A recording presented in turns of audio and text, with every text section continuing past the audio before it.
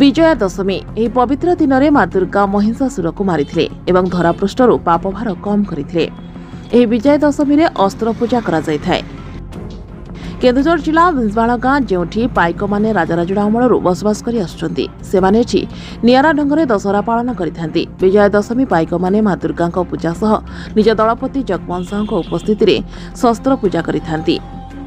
ଏବଂ ପାଇକ ଆଖଡ଼ାରେ ନିଜର ସମର କଳା ପ୍ରଦର୍ଶନ କରିଥାନ୍ତି। ଏହି ପରମ୍ପରା ଦୀର୍ଘ ଶହେ ବର୍ଷରୁ ଉର୍ଦ୍ଧ୍ୱ ହେବ ଯାହା ଏହି ଅଞ୍ଚଳର ପାଇକମାନେ ଏପର୍ଯ୍ୟନ୍ତ ଉଜ୍ଜୀବିତ କରି ରଖିଛନ୍ତି।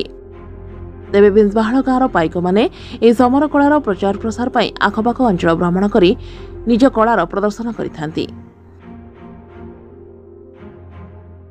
ତେଲକୋଇରୁ ଚନ୍ଦନ ବିହାରୀ ପରିଡ଼ାଙ୍କ ରିପୋର୍ଟ ଜାଗୃତି ଲାଇଭ୍ ମିଡିଆ।